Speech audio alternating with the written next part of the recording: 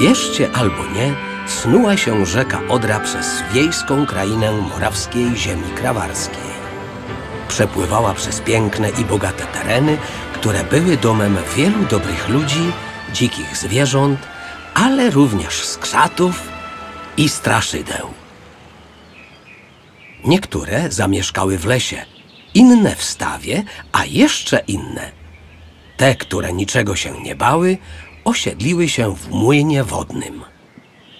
Tak jak nasz stary znajomy Chochlik. Zdecydowanie nie był złym skrzatem, ale czasami zrobił jakąś psotę, bo aż go do tego ciągnęło. Nosił zielony strój, nad czołem miał dziką czuprzynę, a jego domem był młyn pazdera lub także wodny, weselski młyn w Lołczce. Pewnego razu zimą, a była to sroga zima, kiedy młyn uginał się pod grubą pierzyną śniegu, a dookoła zdobiły go koronki z sopli lodu, chochlik wałęsał się wokół młynówki. Ha! Kachna, kaczka!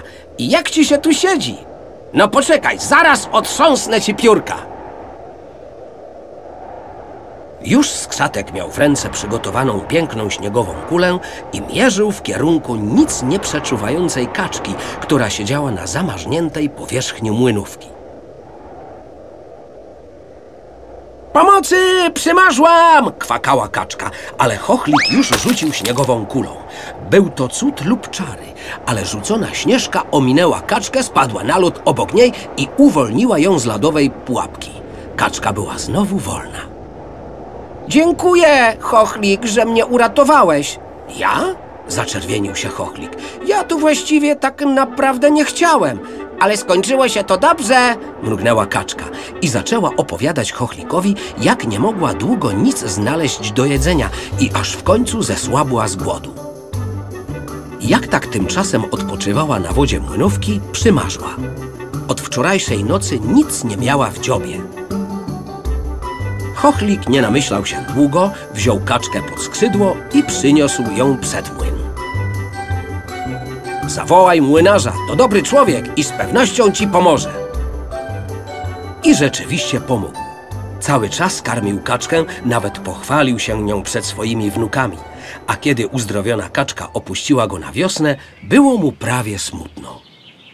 Chochlik to oczywiście zauważył i kiedyś w lecie po południu odwiedził kaczkę w szuwarach i zaprosił ją do odwiedzenia młyna. Została dumną mamą i dlatego wzięła ze sobą wszystkie dzieci, a było ich ośmioro. Młynarz był pełen radości, a Chochlik z zadowolenia zacierał ręce, jak sobie to wszystko dobrze obmyślił. Co myślicie, kochane dzieci? Jak to będzie dalej z kaczką i małymi kaczątkami? Czy zamieszkają znowu w młynie? Przyjdźcie się przekonać na własne oczy. U nas bowiem, w dorzeczu Odry, bajki nie mają końca.